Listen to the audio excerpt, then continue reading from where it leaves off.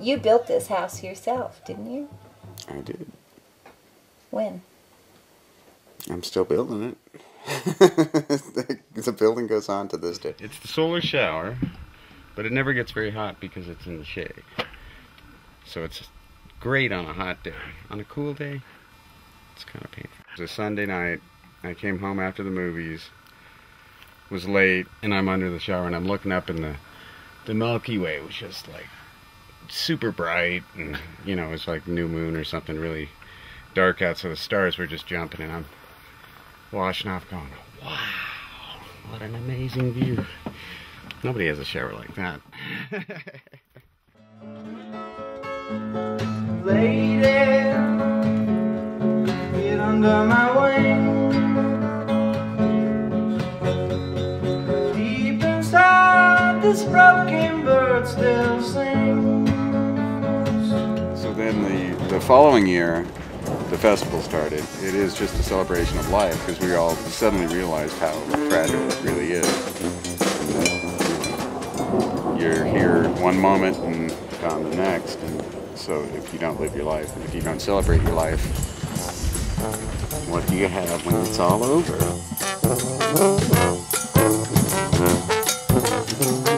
That's where Swanee Fest began.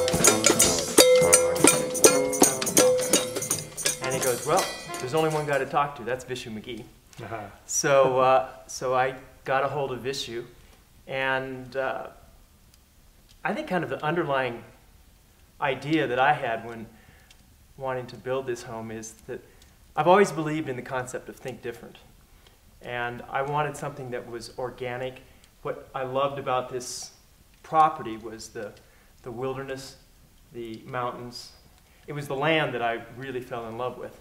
And I wanted the house to organically grow out of the surrounding environment. And so I came to Vishu and I said, you know, I want something that's built out of earth, stone, and wood.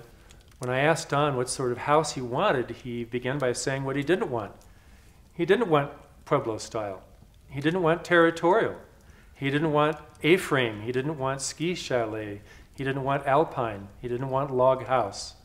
So I said, great, you've told me what you don't want, and you've rejected the entire regional vernacular. What, what do you want? He said he wanted a house that felt like it belonged in the environment, both artistically and emotionally and in the environmental sense, that it responded at all these levels to this place that he in particular really, really loves after a, a 10 year search for a building site. We have stone from just over the mountain in Mora. We have vigas and latillas from the Taos Valley and the mountains around it. Even the mud plaster on the walls is taken from the site right here, which fortunately is blessed with a good stash of micaceous clay. So uh, natural materials which carry uh, both an energy and the, uh, the quality of being worked by hand and installed by hand and incorporating the energy of the plasterers and the carpenters and the craftsmen, all of these contribute to a, a real palpable uh, living sense. These are life materials around us that come from the natural environment and connect us to it and reinforce that whole sense of dynamism and of life and of uh, authenticity. We used to plant and raise our own foods and all, and raise our own animals for meat and stuff like that. We used to do. We used to make our own soap, our own candles, our own brooms. We used to weave, card, and spin and make our own sarapes. We used to do uh, dry all the foods. There were no refrigerators, no electricity, no nothing. And up to age 15, the only thing my family bought at the store was coffee. A family would start with two or three rooms, and then every year they would add on a room. And they had a beautiful adobe home, which, which was a palace to most of us, you know, that own adobe oh, home.